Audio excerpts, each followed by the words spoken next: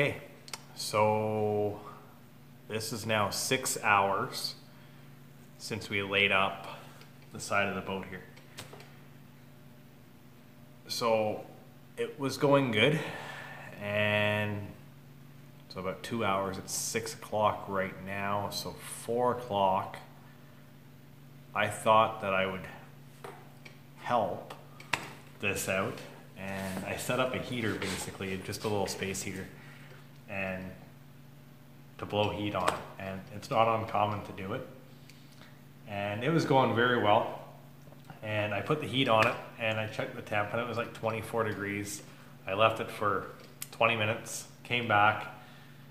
Then it was at 30 degrees. This is Celsius. But it started to run. And you can probably see a little bit here on the camera. And it kind of all got boogery on me, basically. So we're six hours right now. Um, it's right at the position where I can hot coat it at this point. So it's not, it's still pliable. Like I can push it in with my fingernail, but you can't smooth this out anymore. So I have two options at this point is I can hot coat it and smooth it out and just sand it once or I could let this dry, sand it, and then put another coat on it, and then sand again. I don't like sanding. We are going to hot coat this right now. But instead of hot coating with another layer of epoxy resin, I'm going to hot coat it with our Total Boat epoxy fairing compound. So I was able to look through this and it's only about right here where we're gonna need any real build. And outside and outside here are pretty close. Uh, the fairing compound is gonna be a lot easier to sand than this is gonna be. So that's what we're gonna do. Because this is epoxy, our fairing compound's epoxy, there's no issue with this whatsoever. So what we're gonna do, I'm gonna meet you back over on the bench. We're gonna mix up some Total Boat fairing compound and come back over here, hot coat this, and then I'm gonna be ready to go home.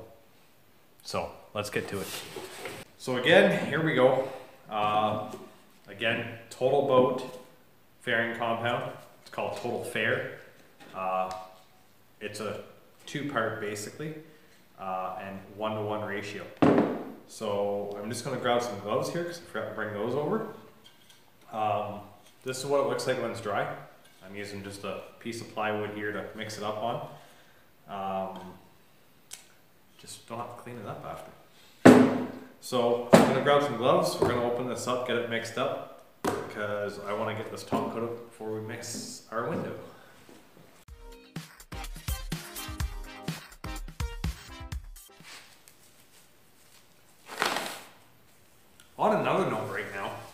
Has anybody tried to buy these lately? Uh, just standard nitrile gloves. Um, obviously everything going on, we, we know this, but uh, having a hard time just finding these. And when you can find them, man, are they super ex- expensive right now.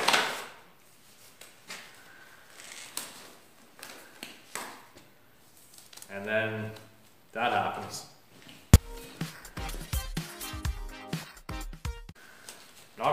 to get home, but I mean, it's Friday night. It's been a long week. and just anxious not to see boats for, you know, a day or two. So here we go. Uh, one blue, one yellow, and we're just gonna mix those basically one to one. And probably about, I mean, eight ounces did what we wanted over there, right? So, I don't know, we're gonna try maybe two tablespoons of each here and we'll see where that gets us, I think. How's that?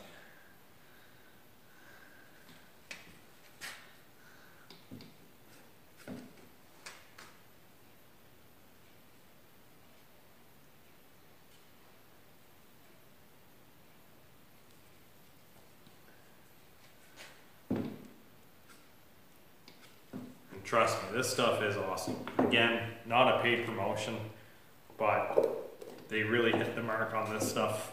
I really like it. I wish it was easier for us to get Total Boat products here in Canada. Uh, unfortunately, they don't ship to Canada, and what they do ship to Canada uh, can cost you a small fortune, basically. So, again, this is something I usually like to grab when I'm uh, southbound for uh, a couple fishing tournaments or something like that in the off season. But, anyways, story for another day.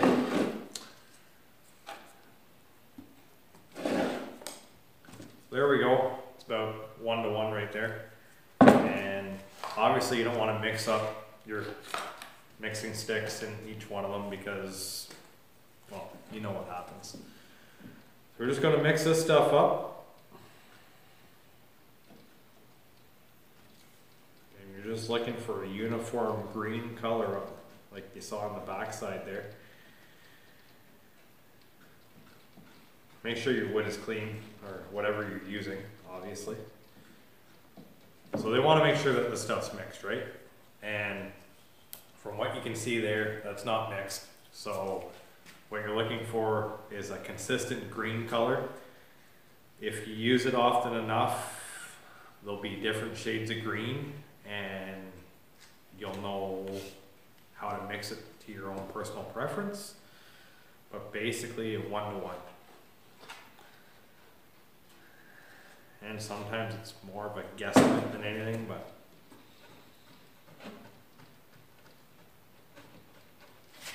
whatever works.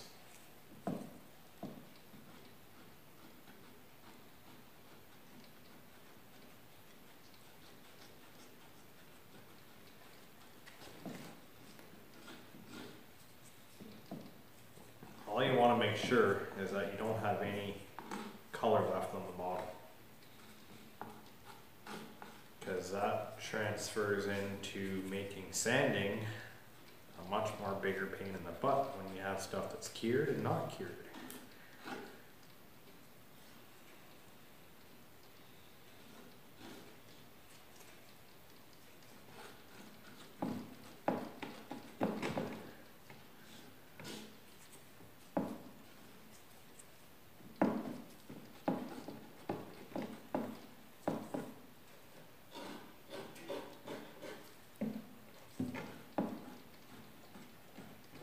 Again, this is just like when we're working with our epoxy resin.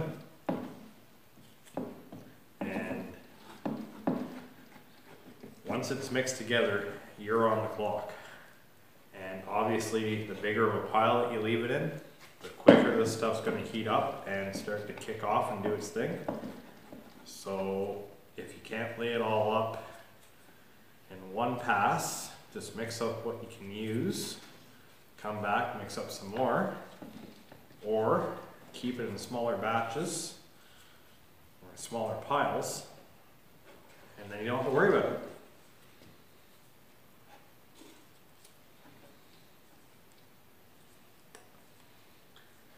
That looks pretty good there, folks. So there you go, consistent cream, and I mean, it's thick. It's good. And it lays out so nice. So let me get set back up here. We're gonna hot coat that and hopefully all goes well. And then just before we get started here, I also want to note that hot coating, it's not necessarily that your epoxy is hot. It's you're able to coat this prior to the chemical reaction ending and this becoming a hard solid. So as long as it's still somewhat pliable and you can make an indent here at your fingernail, you're good to go. Anything past that point, it's you gotta let it full cure and uh, do some sanding and come back and lay up your next layer then. So anyways, uh, let's get this going.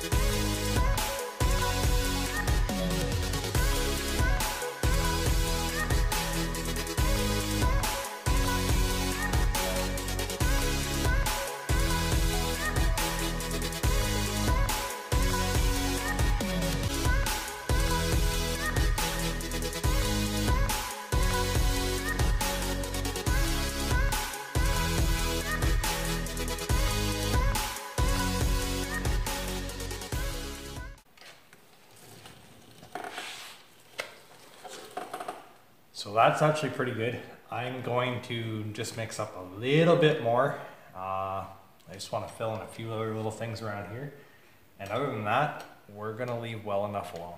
And uh, I think we have enough build on here now that we're going to have to do very minimal refilling basically after we do our sand. So anyways, um, I'm going to go mix up some more. I'll be right back.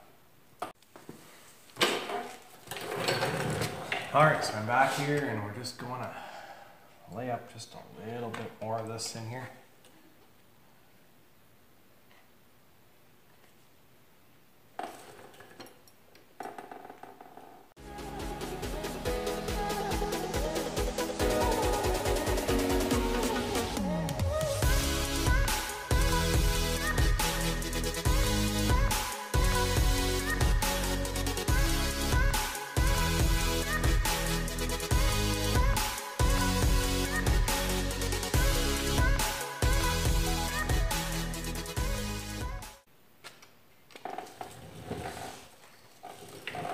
Okay, it's not perfect, but it's gonna give us quite a bit of build here, which is great.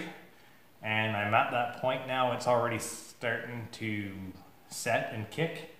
So at this point, it's the leave the well enough alone point because you start playing with this now too much and well, we know what happened already, right? So we're at an all stop here now.